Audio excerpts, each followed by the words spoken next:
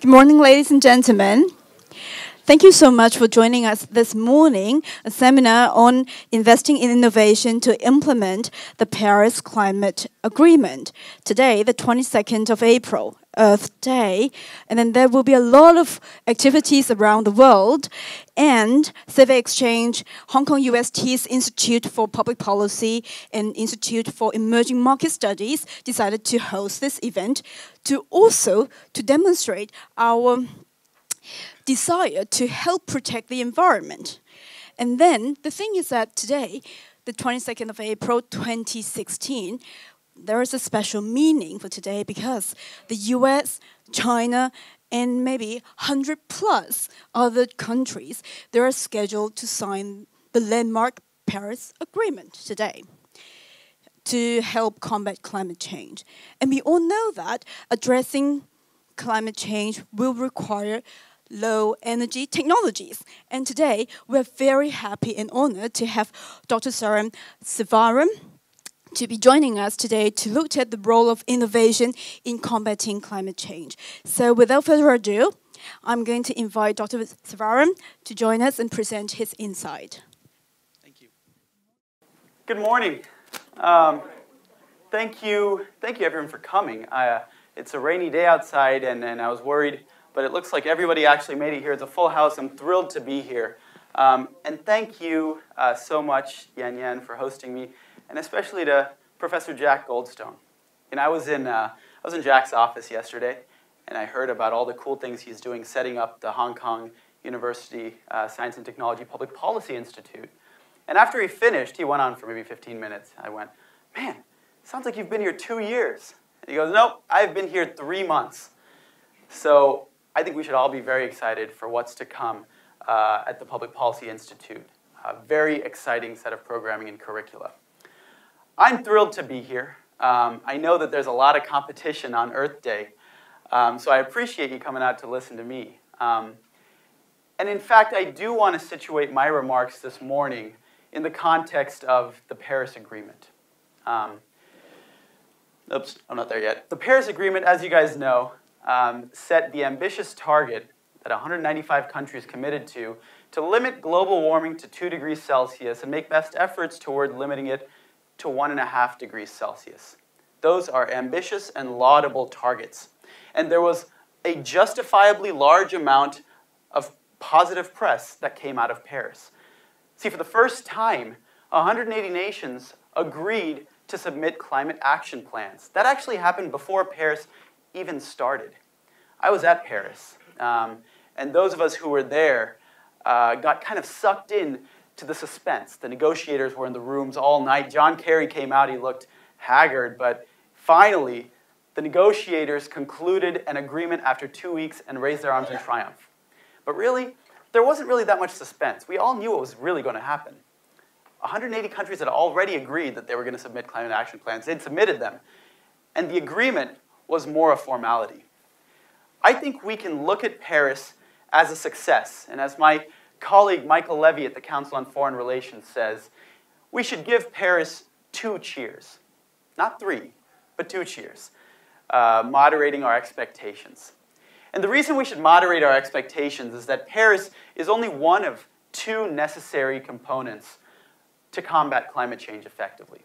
What Paris did was showcase to the world that all the countries are willing to do something on climate change. That's a big leap.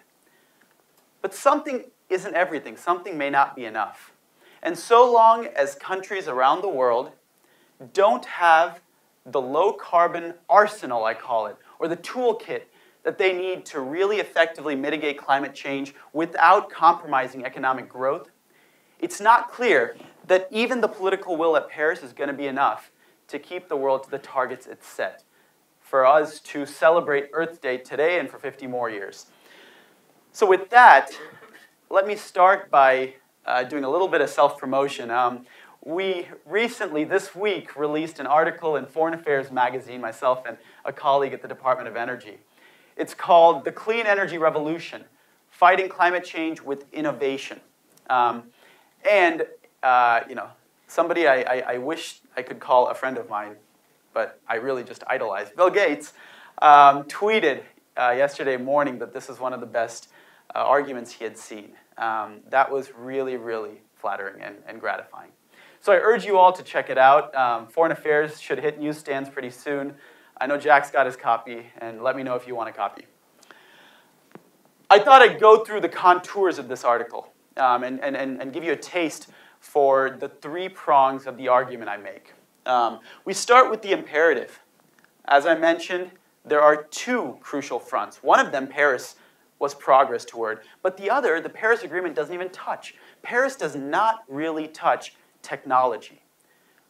There's one section in the Paris Agreement on the technology mechanism, but it's not entirely clear whether that's going to be very effective in encouraging the development of radical breakthrough new technologies. Now, that's extremely important, and the reason is that currently the low carbon technologies that the world has are inadequate to deal with the problem. And the world's financing is not necessarily going to the right place.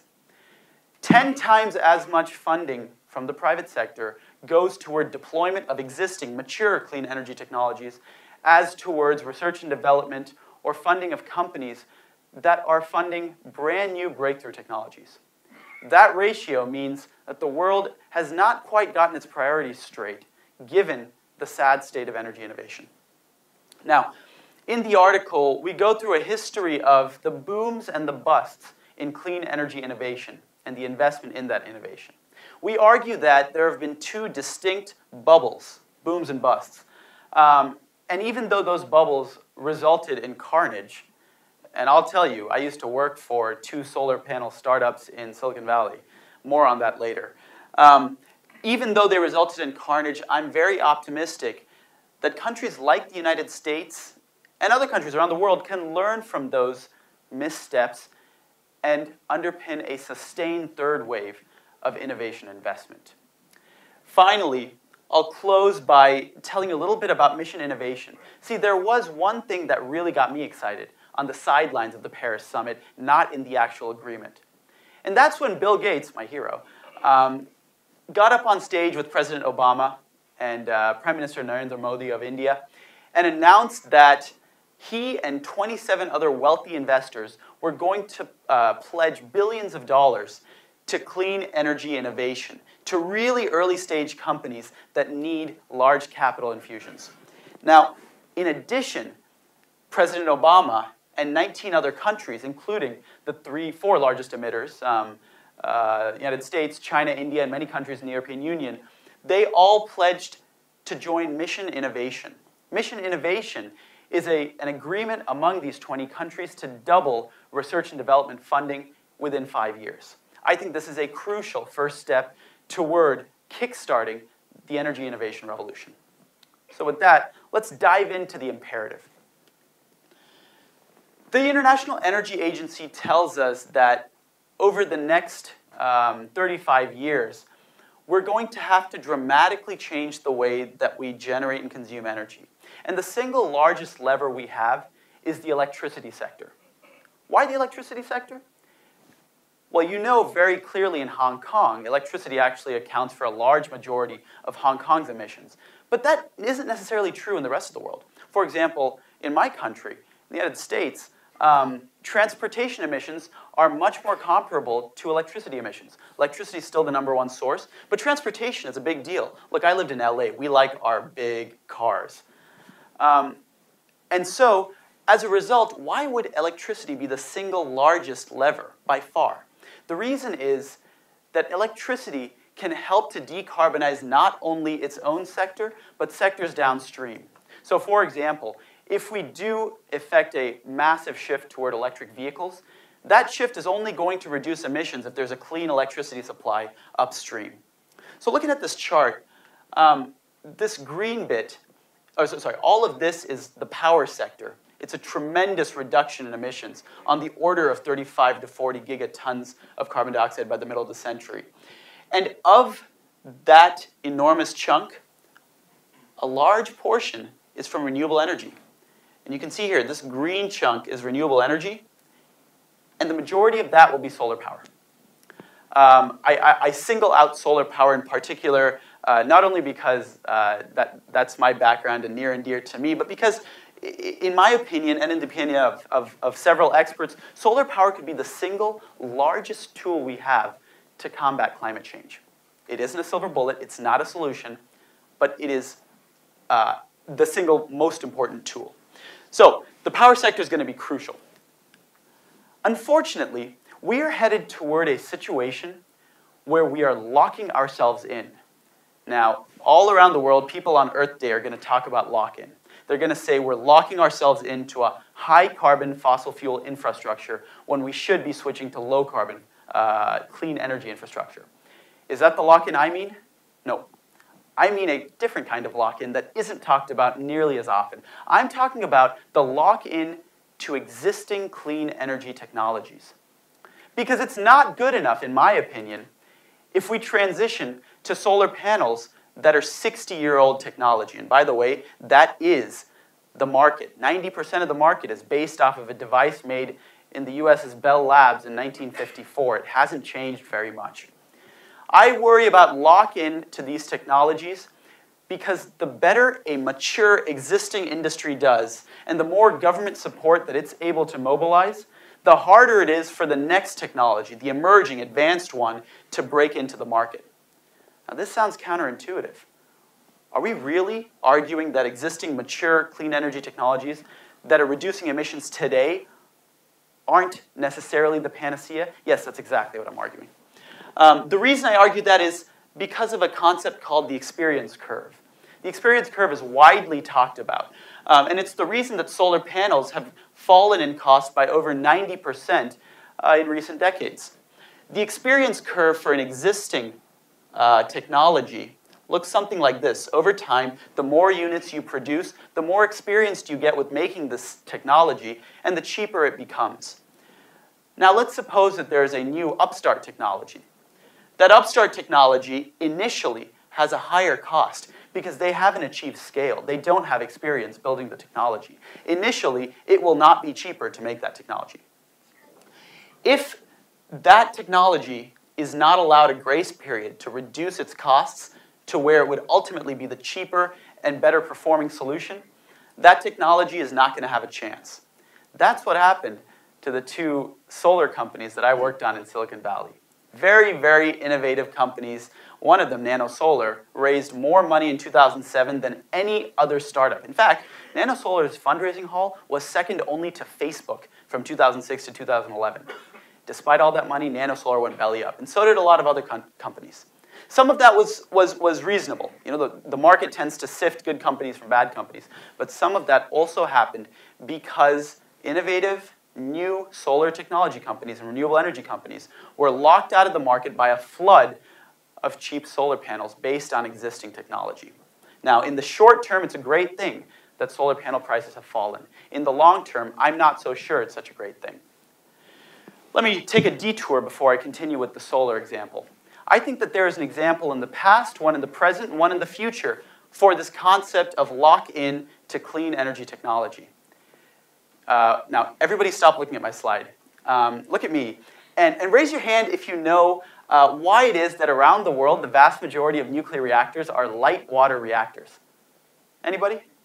Jack knows. Um, uh, I, I, see maybe four other hands, and so, yes? That's exactly right. That is exactly right. In the 1950s, Admiral Hyman Rickover decided that he was going to pick the reactor closest to commercialization to put on a submarine. And then he took that reactor and put it uh, as the first civilian nuclear plant in the United States. And then the United States, under the Eisenhower administration, uh, subsidized their European allies to build US-style nuclear reactors. And that was it.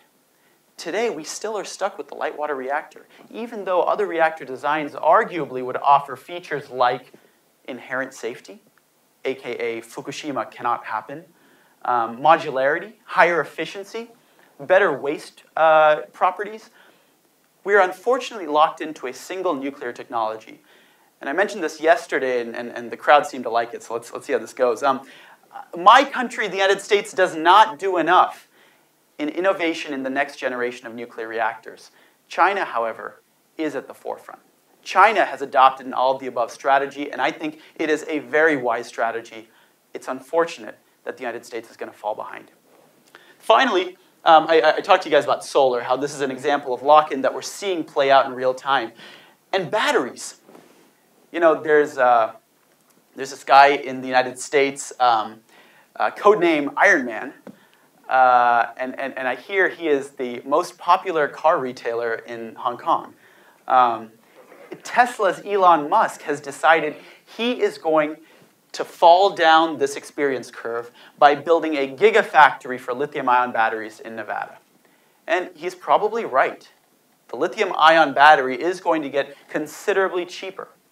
But is lithium ion the correct solution for everything from your smartphone to your electric vehicle to your electricity grid storage?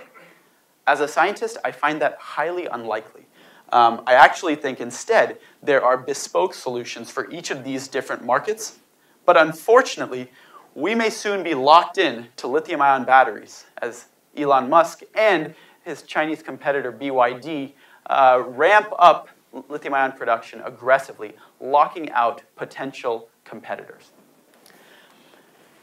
I want to, I, I, told you I'd go back to solar, and solar is near and dear to my heart. So he, here's an article we released this month in the journal Nature Energy new journal, but it's fantastic. I am also a little biased. Um, and, and, and in the article, we said that even though solar panel prices have fallen precipitously, and that's great, they're not falling fast enough. And if we don't invest today in new technology, we're going to find ourselves down the road with a technology that's inadequate to meet the needs. Why is it inadequate? Well, here's a graph that tells you something about how competitive or how valuable solar power is the more of it there is. See, the first solar panel on the grid in California is really helpful. It produces power right at noontime. That's when people are turning on their air conditioners or have them on at full blast. But the 10th or the 20th or the 1000th solar panel, when you start to get to penetrations that are much higher, they're no longer very useful. At that point, the solar power at noontime is generating all of the electricity that anybody can consume. And as a result of basic supply and demand, Econ 101, when you have an oversupply of electricity at a particular time, that electricity is not going to be very valuable at that time. In other words, as these three studies have shown, and we, we chronicled studies in Texas, California, and Germany, the more solar panel you have, the less valuable it is, which means the cheaper it has to be to be competitive with other sources of energy. Now, other sources, like a natural gas plant, don't have this problem because they can adjust their output and aren't tied to the sun's cycle. Fair enough? So we argue that because solar power becomes so much less valuable over time, but solar power, remember, has to be the single largest uh, tool in our fight against climate change, we argue that for solar to reach 30% penetration of the electricity sector by 2050, it's going to have to cost US 25 cents per watt by that year. And that is just one fourth of the target that the US Department of Energy has set for solar power.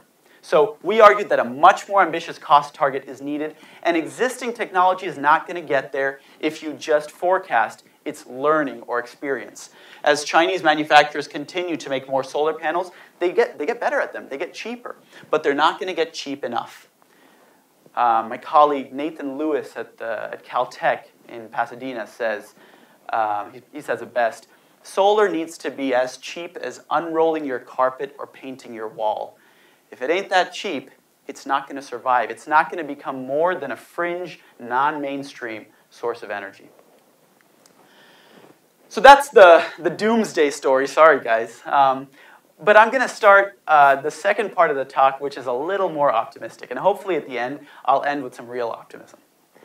I think there's reason for optimism because we can learn from the past. The more I think about it, the more this is actually going to continue to be depressing, but we'll get to optimism, I promise. Um, you know, the United States in particular, and, and, and that's what I spend most of my time studying, um, has gone through an evolution in its thinking on how uh, innovation really happens. So back in the day, um, uh, President Franklin Delano Roosevelt had an advisor, his top science advisor, Vannevar Bush. And Vannevar Bush wrote this memo, The Endless Frontier of Science. It sounded great. And in the memo, it had basically this, a linear model of innovation. So you have research in the lab, um, then that, that basic science gets developed into something that resembles a really small product. And then the product scaled up and put out in the field, so you have a big product. And then it goes into the market and is sold commercially. Um, that is a very neat model, and there's a reason Vannevar Bush was a good writer, but that's not how this works. We know that now. We now know that really what happens is this happens, and then this happens, and some more of this happens, and sometimes this happens, and we go back to, this, to square one. And it's very iterative. There are feedback loops built in. It's nonlinear. As a result, some of the policies that in particular the United States has developed, uh, had developed um, in the 20th century apply to this model, but not to this model. For example, in the 1970s, many of you may remember the uh, oil crisis, the Arab oil embargo, the Iranian Revolution. Oil prices spiked, and in the United States, there were uh, you know, very long lines at gasoline stations. As a result, um, Congress and the administration decided that we really needed to fund conservation, we needed to fund energy efficiency, we needed to fund renewable energy, and they boosted research. You can see it right here. They boosted research for energy. This, by the way, is a graph of how energy stacks up against all of the other funding priorities, excluding the military, which is the biggest funding priority, as you might imagine. Um, so here in, in the late 1970s, we really boosted energy research. Promptly, what happened? Well, uh, oil prices fell back down. We had depressed oil prices in the 1980s, and a gentleman named Ronald Reagan happened to come into office. Now, Ronald Reagan was still enamored with this linear model. And he said, you know, we really should only have the government investing here. Basic science. Because we need the free market to have running room. The free market will then take whatever ideas it likes and do all of these things with them. So let's just get out of the way of the free market. Um, I, I, don't mean to critique Ronald Reagan's broader policies, but on this particular point, he was not very effective. Um, and the reason is, as soon as the federal government cut funding and you can see how it plunged. This is all of um, uh, energy research. Funding plunged not only in the United States but around the world uh, in the 1980s. Private sector funding also plunged. Um, and so the private sector didn't have, it did have more running room, it just decided to run away. Uh, it did not pick up the research and basic science that the government was funding.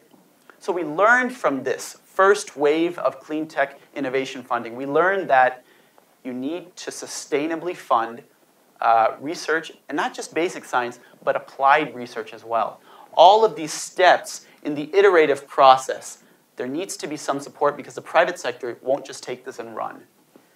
Now, I told you that there were two bubbles. What's the second bubble?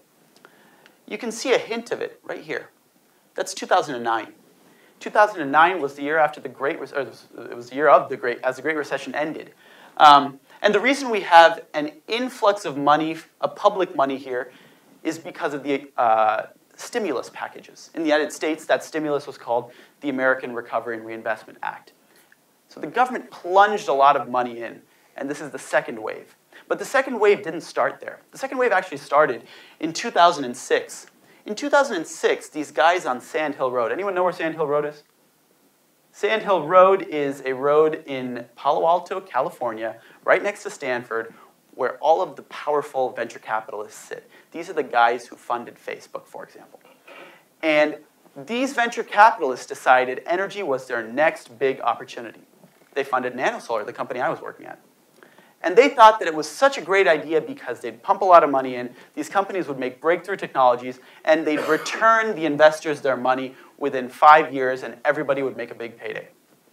Unfortunately, that didn't happen.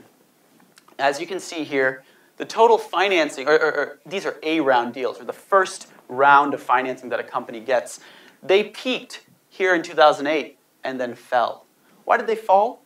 Because suddenly venture capitalists realized that these companies were not returning money very quickly or at all. In fact, if you look at risk and reward, and, and we did this study, um, uh, it's, our, our database is the most comprehensive database of um, publicly available data on startup companies. We looked at clean tech companies, software companies, and medical technology companies, and we quantified how risky were the investments that investors were making and how much return did the investors get back. We found that in clean tech, the investors had more risk, that means their companies were more likely to fail, and they had poorer returns. The clean tech companies gave back less money even when they did succeed. So what that teaches us is clean tech is fundamentally different from software. The reason it's different is software companies need 100,000 or a couple million dollars. They will return an eye-popping multiple like Instagram or WhatsApp, and an investor can walk away and reinvest the funds and make his limited partners happy. It doesn't work that way for clean tech. Clean tech is capital intensive. It requires tens or hundreds of millions of dollars. It requires a long and patient wait by the venture capitalists for his money to come back. Venture capitalists largely won't wait more than five years. And clean tech has what's called bounded returns. The returns, or the multiple of what you get back from what you put in, is much more measured than the eye-popping returns that three guys and a dog used to build Facebook. So I want to talk now about where we stand today. After the second clean tech boom and bust, the boom, by the way, started by the venture capitalists, continued by the government, but the bust when the venture capitalists pulled back their money, and then the government also pulled back their money because all of the stimulus funding was one time. That leaves us here. Um, and uh, I just want to give a shout out to my friend Justin, uh, who works at Bloomberg New Energy Finance. They are the source of the best slides. I really enjoy using them. Um, but I will say that I disagree with their take-home point here. Their take-home point is, look, we are doing great. We have four or 329 million dollars, billion dollars, um, going into clean energy finance. That's fantastic. The problem, I argue, is that so little of it is going toward technology. This is venture capital, four billion. Corporations, 15 billion. That, that's a lot more than in previous years, which is great. Um, the government, 13 billion, still, again, lower than health, space, and defense. Um, and you know, some private equity firms occasionally make deals in this space. So there's not a whole lot of money going into innovation and new energy technologies. I want to I want to close because um, I want to make sure that, that we do have some time for questions. Can I ask you how much time do you think we need for? How much time would you like me to leave for questions? Five minutes, and then go to panel. Perfect. Um, so I want to end with the opportunity here. Um, in, uh, in 2015, in the Paris Agreement, on the sidelines, 20 countries signed up for mission innovation. Now, I showed you earlier a chart, I should have pointed this out. I showed you earlier a chart of how public spending around the world as a proportion of all of their R&D has dropped over time. It's fallen. Today it stands around 5%. That's nothing, guys. This is the single biggest challenge facing the world.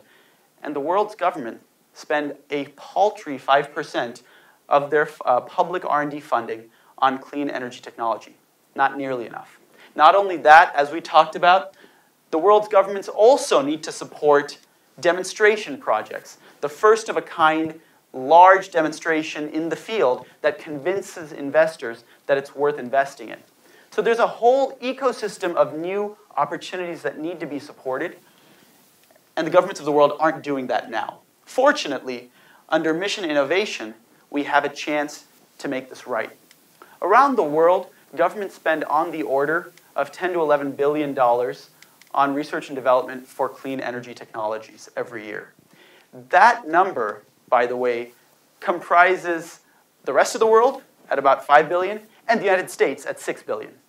So the single most important actor here to meet the Mission Innovation Pledge is the United States. If the United States doubles their funding, they will meet more than half of the world's pledge to get to over $20 billion by the year 2020. I am proud that President Obama announced his funding proposal for the 2017 budget at 12, uh, uh, at, at setting us on a trajectory to $12.8 billion by 2021. I'm very proud of that. Uh, and I hope that that is an initiative that can achieve bipartisan support in our Congress.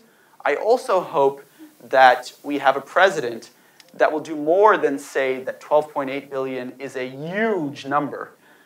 I hope instead he will be willing to commit to that target and follow President Obama's legacy. This, as you know, is Mission Innovation, and here are five of the very important actors that have pledged billions of dollars. You'll recognize all of them, I hope, and, and, and in particular one of them. Um, and, and I want to say that uh, these investors hold the promise of introducing a new class of investment to clean tech. That's the class called patient capital.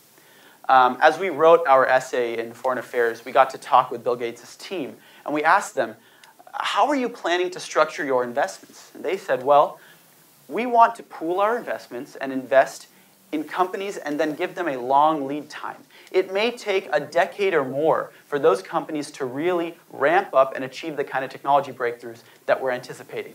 Bill Gates, for example, has invested in, a, in an innovative nuclear company, TerraPower, that may not have a commercial product for over a decade. Um, and yet, this class of investors, if they can successfully marshal their resources and invest in companies, could attract much more capital from institutional investors like pension funds, family offices, folks who really want to deploy capital in the space, recognize the opportunity, but don't know where to put their money. So we hope, and in my conversations with uh, Bill Gates' team, and the, they're called the Breakthrough Energy Coalition, we hope that they'll be able to not only pick uh, very interesting uh, companies to invest in, but also catalyze a broader wave of investment in a portfolio of clean energy technology companies. These companies will invest not only in cool new solar technologies, they'll invest in new batteries that make it possible to integrate wind and solar onto the grid. They'll invest in ways to convert solar energy into fuels like hydrogen or other clean fuels that allow us to decarbonize the transportation sector. Remember when I mentioned the transportation sector is downstream from electricity? Well, 40% of the transportation sector actually is in aviation, heavy duty shipping, things that actually can't be electrified. And so we really need clean fuels, and possibly the most promising way to do that is through solar fuels. Other cool ideas include getting wind energy from high altitude sources that are much more constant over time. We need more efficient ways to heat and cool buildings. We need ways to extract energy from geothermal reservoirs. The list goes on. And I hope that Bill Gates and his investors are going to be able to catalyze this new wave, a third sustained wave of investment. This relationship between President Obama and President Xi could be the most important to the world. Um, my colleague Liz Economy, a friend of mine and Jack's, um, wrote in her blog that the relationship between Obama and Xi, the two presidents, um, is underpinned now by climate change. That this is the issue where the two leaders have come out and made the most positive, constructive comments of partnership. That's fantastic. That's a sign that climate change has moved from a fringe issue to now a central issue in foreign relations. I think that's why they hired me to work at the Council on Foreign Relations, which historically uh, has not dealt with these issues. Um, I think this is extremely important. And one area that's particularly important is the Clean Energy Research Collaboration between the United States and China, CERC. I'm not sure what it stands for, China Energy Research Collaboration. Uh, and this collaboration is a first in the world because of one important characteristic, the technology, the technology management protocol. The TMP is a way for uh, businesses and researchers from both sides, China and the United States, to ahead of time set the terms for how their IP will be licensed if discoveries are made on either side or jointly. As a result, we've seen a tremendous set of private and public sector researchers join forces to do, for example, demonstration projects on Chinese coal plants, on Chinese buildings, to develop advanced vehicles together. As all of the countries, or the 20 countries in mission innovation, scale up their research and development funding, it's going to be very important to coordinate. Initiatives like this one are going to be crucial to that. And I argue that the technology management plan or protocol, one of those, uh, that, that characterizes the Chinese US clean energy collaboration is a model for other collaborations. In particular, I hope that the US will do so when they modify their agreement with India. They currently have a research collaboration with India, but no way of guaranteeing these IP rights ahead of time. I told you I'd get to uh, optimistic stuff, and here we are. Um, this is a, a paper in Scientific American um, that I wrote with uh, my, my grad school advisor, uh, Henry Snaith. And in Oxford, uh, when I studied there, our lab invented a new technology that we think can outdo uh, silicon solar panels. It's a technology that can be both cheaper and better performing, and on top of that, we can make it colorful, transparent, whatever you want it to be. It's called perovskite. Say it three times. Hey, I actually heard everyone say it right. That's fantastic.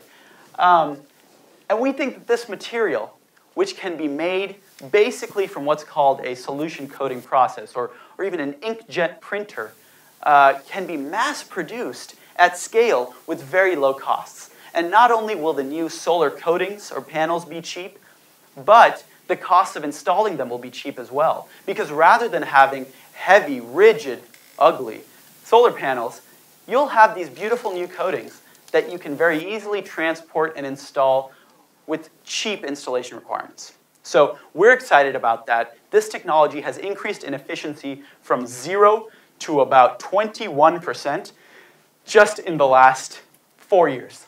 It's, it's one of the most exciting frontiers of the field, uh, and I was really honored to get to work on this technology. Happy to talk about it more later on.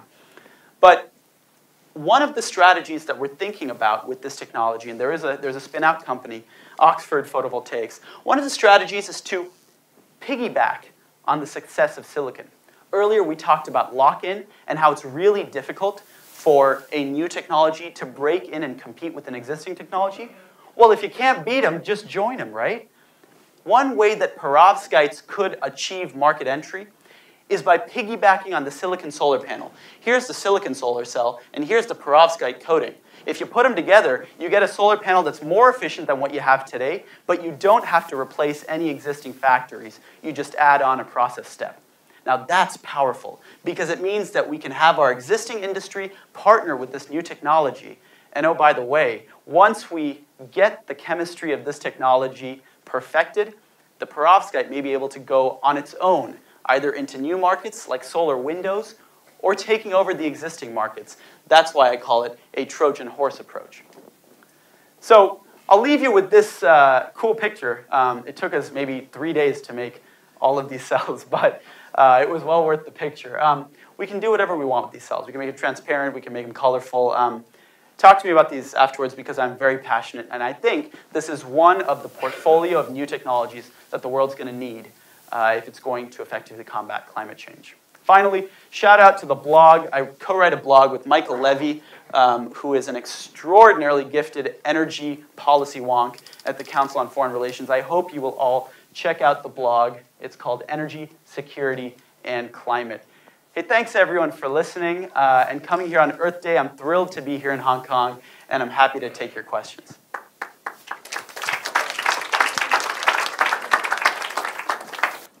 thanks so much. And then with five minutes for Q&A. We'll have more questions with the panel, Yep. but let's give just a few quick questions. Focusing, focusing on the presentation. We've got five minutes. And then after that, we've got a 45 minutes panel discussion with panel members joining together with this with the speaker. So anyone would like to take the chance to ask the first question? Yes, more. Um, with fracking, the United States has basically, in some ways, solved the energy security problem, and it's going to massively change its energy security and national security policy. How is it going to affect the cl- clean tech's future? It's a great question. Um, I will say that uh, in addition to solving an energy security problem, um, uh, or, or, helping to ameliorate an energy security problem, uh, the, the natural gas shale revolution has also enabled the United States to reduce its emissions through coal to gas switching. Um, so so it's, it's, been, it's been a boon to the United States. However, your question is very important because low natural gas prices, for example, in the electricity sector, make it difficult for other technologies to compete. the bar is lower. Now, some in, uh, who, who think about this would say that's a bad thing, right? That makes it harder for technologies like solar and wind uh, to compete. I actually think the opposite. I think that low natural gas prices, in fact, low hydrocarbon prices, including oil, uh, are going to be a fact of life, a norm, rather than an aberration in the future. So let me, explain that. Let's say, for example, um, biofuels have success, get some market traction, and the amount of biofuels in our fuel mix goes up. That means that the amount of oil in our fuel mix goes down. And as the demand for oil shifts, again, Econ 101 will tell you that the price of oil is going to go down. So today's low oil prices or today's low natural gas prices, I consider as uh, signs for foreshadowing what's to come in the future. And we better be picking renewable energy technologies that can survive against low prices rather than those that can only compete against high prices. Still, I will say, emerging technologies do need some protection. And that's why it's important that we have public policies in the United States and elsewhere that protect, um, either offer protected beachhead markets or offer some sort of technology support that enables these emerging technologies to scale out of the lab and get into the field? It's a great question. Thank you. Thanks. We have time for one more question. Yes. Thanks for the speech. Um, I have a quick question about um, solar panel. Uh, we get excited about solar panel because um, it's obviously carbon issue, but um, once the life, life cycle of the product is gone, uh, what are you going to do with it? The disposal issue is another big problem. So uh, with the technology that you have discussed, um, the uh, thin layer of uh, that thing, um, is there any uh, issues with disposal of those? I'm going to make you say it, perovskite. yeah, perovskite. There you go. Um, the, again, a, a, very good question. Um, these are questions that scientists don't like asking. Um, I can tell you that, that when we were in the lab, you know, we optimize solar devices that are about as big as your fingernail under perfect noon light conditions. That's all we ever test. And then we test hundreds, and if 99 don't work but one works, we get really excited. No one ever thinks about, look, what if I have to make it bigger than a fingernail? Or what if it has to go under low light conditions, like evening or morning? Um, or what if, what am I going to do to recycle it, like, like you're asking? Um, we didn't answer those questions. And that's why there's a lot of work left to be done to take these technologies from the academic facilities to the field. One of the things that I think is very regrettable about the solar industry is that the industry and the academia don't talk to each other. Um, now, I, I, see Professor Tim from the Energy Institute over there. Thank you for hosting me yesterday. And, and, and researchers at the Hong Kong University of Science and Technology, you know, asked me yesterday, why do you think we're locked in? we researchers are still thinking so hard about next generation technologies. And I say that's exactly the point. You guys have moved on, but the industry is still behind. You didn't take them with you. The industry actually has no idea what's going on in the solar field, and that's not characteristic of other high-tech industries.